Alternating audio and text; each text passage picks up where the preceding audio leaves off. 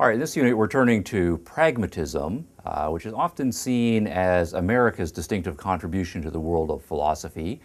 There's a great deal of uh, truth to this. While the two other philosophies that we've looked at so far, idealism and realism, are both ancient uh, philosophical systems and have had their roots in uh, Europe clearly, and then over the course of several centuries of uh, philosophizing, there are various uh, versions of idealism and realism that developed.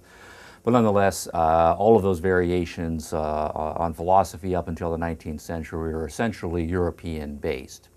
Uh, as the United States came uh, to be a world power, not only economically, politically, and so forth, but also culturally uh, and intellectually, it made its own distinctive contributions to the world of philosophy, starting in the second half of the 19th century and the first generation of major pragmatist philosophers, Charles Peirce, William James, and then a little bit later, uh, John Dewey.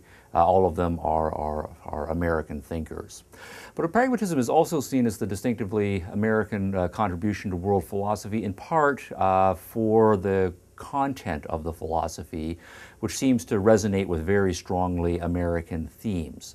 Uh, the pragma root, uh, the first half of the word here, is a Greek root, but it's a, word that means in the Greek uh, work, right? So what we're emphasizing is workability, right? Doability or functionality. And what's built into pragmatism as a philosophical system is, uh, to put it negatively, a distrust for theoretical abstraction, for ivory, uh, ivory tower speculation, right, or for any sort of idle speculation, uh, any sort of sense that philosophy has its head in the clouds and isn't really uh, deeply connected to practical, real life workability uh, uh in the natural world. Now, all of that, of course, sounds uh, realist, uh, and uh, at a certain level of abstraction, that same sort of criticism about ivory tower otherworldlyism is a standing a realist criticism of the idealist tradition. Uh, and I think it then is fair to say that pragmatism is, broadly speaking, uh, in the realist tradition, if you uh, cast your historical net very widely um, here.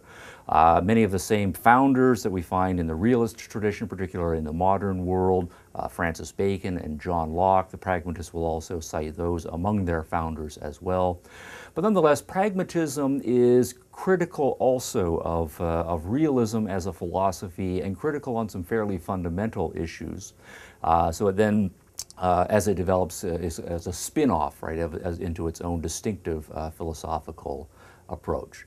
And what the pragmatists will do is argue uh, from their perspective in the 19th century that while they are more sympathetic to the realist way of doing things, nonetheless, the criticisms that they can make of idealism still hold for realism uh, in, a, in a much less degree uh, or much less significant degree, uh, because both the idealists and the realists from the pragmatist perspective share certain fundamental assumptions.